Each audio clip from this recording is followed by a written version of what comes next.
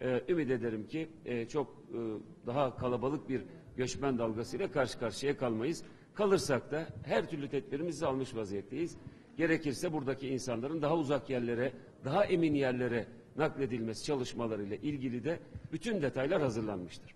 Benim şimdilik söyleyeceklerim bunlar. Ee, ümit ediyorum bu yarayı en kısa zamanda sararak bütünüyle o insanların kendi memleketlerine dönmesi mümkün olur. Ee, net sayımız yaklaşık 130 bin civarında hatta 130 bini aşmış bir sayıdan e, bahsedebiliriz. Şimdi e, söz konusu bölgenin toplam nüfusu 400 küsur bin. Allah muhafaza tabi bunların e, Suriye'nin içerisinde başka yerlere e, gitmiş olduklarını e, tahmin ediyoruz. E, ama e, yani yoğun yüz binlerle ifade edilecek bir göç dalgası muhtemeldir. Bu muhtemel dalgaya karşı hazırlıklı olduğumuzu e, ifade etmek isterim. Herkesin bunu bilmesi lazım. Burada şunu bir kere daha söyle, söylemek isterim. E, Türkiye bu kadar büyük fedakarlıklarla gerçekten dünyanın hiçbir ülkesi bunu yapmayı başaramaz. Bir gün içerisinde hatta 24 saat bile dolmadan 70 bin kişinin bir kişinin burnu kanamadan içeriye alınıp bunların ilgili yerlere e, nakledilmesi kolay bir iş değildir. Bu işi başaran bütün e, insanlarımıza, bütün e, e, ilgili birimlerimize teşekkür ediyorum. AFAD'a, valiliğimize, kolordu komutanlığımıza, emniyet teşkilatımıza, Kızılay'ımıza, şu anda orada sivil toplum kuruluşları da yardım faaliyetlerine başladılar. Bütün bu sivil toplum kuruluşlarına herkese teşekkür ediyorum. Çok zor bir iş başarılıyor. Bir de bu bir doğal afet değil. Yani tehlikenin nereden sel olsa, deprem olsa olur biter ve ondan sonra yaraları sarmaya başlarsınız. Kaç kişinin etkilendiğini en baştan bilir ve ona göre hareket edersiniz. Karşı karşıya kaldığımız şey maalesef insan eliyle yaratılan bir felakettir. Dolayısıyla daha kaç köyün basılacağı, daha kaç kişinin göçmen haline getirileceğini bilmiyoruz. Karşı tarafta kontrol edilemez bir güç, sivil insanlara karşı bir saldırı içerisinde.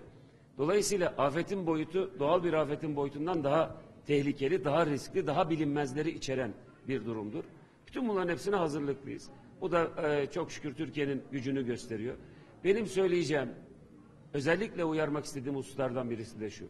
Hiç kimse Suriye'den gelen, Kobani'den gelen Kürt kardeşlerimiz üzerinden siyasi bir şov yapmaya kalkmasın. Hiç kimse oradaki yardım faaliyetlerini zorlaştıracak herhangi bir eylemlilik içerisinde olmadı. Bunu öze olmasın. Özellikle bunu istirham ediyorum. Biz gelenin kimliğine ne olduğuna bakmıyoruz. Sünni Arap geliyor başımızın üstüne. Şii Arap geliyor başımızın üstüne. Türkmen geliyor kabul ediyoruz. Yezidi geliyor kabul ediyoruz. Kürt geliyor kabul ediyoruz. Biz bu kadar insani değerlerle oradan gelen en ufak bir kardeşimizin burnunun e, kanamaması için gayret sarf ederken hiç kimsenin de burada bir e, siyasi şov içerisinde olmaması gerekir. Bütün sivil toplum kuruluşları bu sürecin içerisinde katılmalarını temenni ediyoruz. Ve inşallah bu sınavı da başarıyla verdik. Zor kısmı bitti. İnşallah bundan sonra da başarıyla bu süreci e, yürüteceğiz.